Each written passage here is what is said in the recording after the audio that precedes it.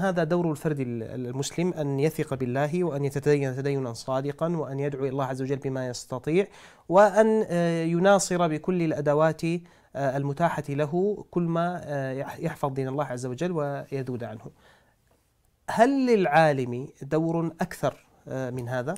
ما في شك دور العالم أعظم وأجل والعبارة التي نحفظها جميعا صنفان إذا صلحا صلح الناس وإذا فسد فسد الناس وهم العلماء والأمراء. وكلمة العالم الزاهد عبد الله بن المبارك رحمه الله رأيت الذنوب تميت القلوب و ويورث نعم الذل إدمانها وترك الذنوب حياة القلوب وخير لنفسك عصيانها. إلى أن قالوا هل أفسد الدين إلا الملوك وأحبار سوء ورهبانها؟ فالعلماء دورهم عظيم وهذا الدور يتمثل أولا في ألا يؤثر الدنيا على الآخرة. هذه مزلة أقدام وقع فيها الناس في القديم والحديث. فالعالم متى ما آثر الدنيا ونظر إليها وصار همه آه، منصبا عليها وقلبه معقودا على جمعها فإنه والعياذ بالله ليس في كلامه بركة ولا على كلامه نور. ثم ثانيا دور العالم أن يكون ناصحا. والنصيحة هنا بمعنى الإخلاص. ناصحا لله ولكتابه ولرسوله ولأئمة المسلمين وعامتهم.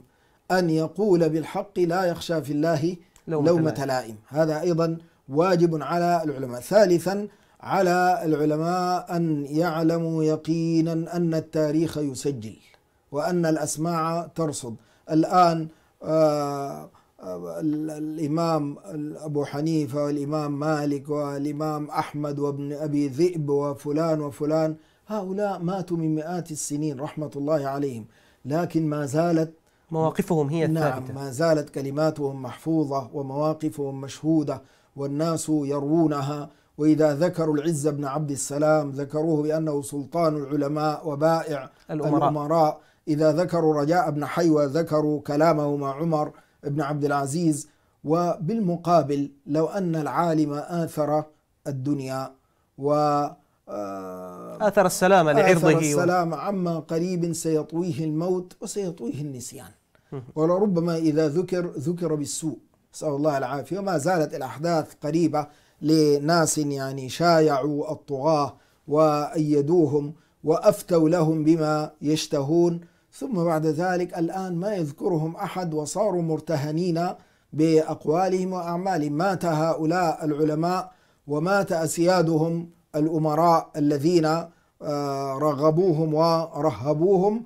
وكل إنسان مرتهن بعمله. فواجب على العالم أن يكون صادعا بالحق. ولا يتنافى. هذا مع الحكمة. نعم. بأن لا يكون داعية فتنة. ولا رأسا من رؤوس الضلال ولا متسببا في سفك الدماء لكنه يصدع ويصدح بالحق. نعم.